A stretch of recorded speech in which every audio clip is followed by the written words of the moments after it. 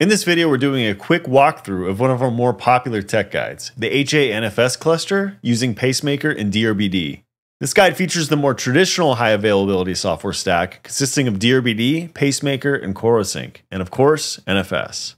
If you're interested in a more simplified approach to highly available NFS, please see our NFS tech guide using DRBD Reactor in place of Pacemaker. This tech guide targets RHEL 9 and walks you through a complete two node NFS cluster configuration in approximately 10 pages. Refer to the tech guide for the details, as again, this video will quickly run through the main steps to get up and running.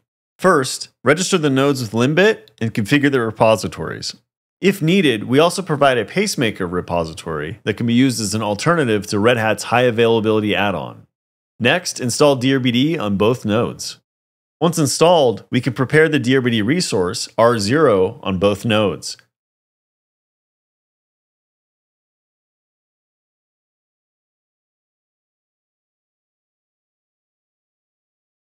The initial sync can be skipped by marking the data as up to date, and a new XFS file system is created on top of the DRBD virtual block device.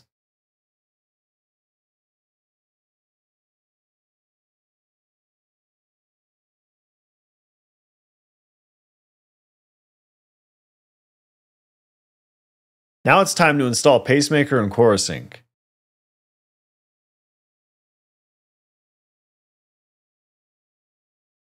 Cluster membership is defined inside the corosync.conf file. By syncing these files in both nodes in the starting pacemaker and Corosync, a new cluster is formed. The tedious part comes with properly configuring Pacemaker to manage all of the cluster resources necessary to achieve highly available NFS. Using the PCS utility, we can create Pacemaker's configuration, also known as the Cluster Information Base, or CIB for short, piece by piece until we have everything defined to successfully run an HA NFS cluster.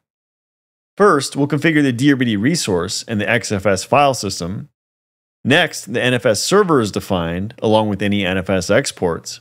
Then, a virtual IP is defined and co-located with the NFS exports to ensure consistent client access during failovers and maintenance intervals.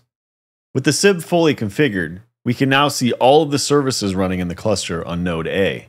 And running show mount against the virtual IP address, we can see our export listed in the output. Now it's time to put the high availability to the test. To do that, we've brought in a third node with the NFS share mounted. We're using DD to copy a file from the root volume to the NFS share. And the moment the DD command runs, we're going to force reboot the primary node. This will trigger a failover, and Pacemaker will have to start everything on node B. So, as you can see, node A is now unresponsive.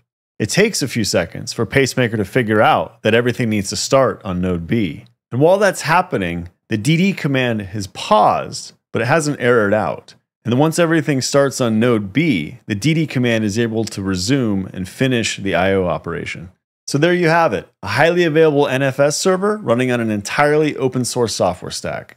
So if you're interested in grabbing this tech guide or need help with anything HA related, don't hesitate to reach out to us. Remember to check the video's description for links, and as always, thanks for watching.